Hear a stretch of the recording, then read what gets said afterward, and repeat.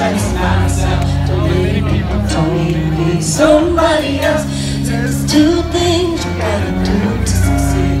Or forget about you. and Listen to me. On the 28th day of December this year, what I needed to do became ever clear. I got drunk and I cried and I fell asleep. When I woke up, I knew who I needed to be.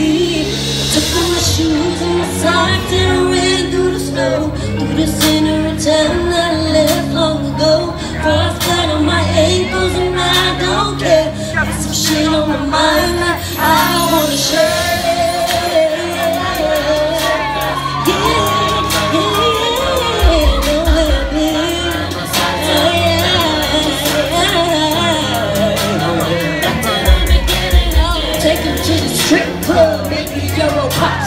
do whatever I say. In the street, get along.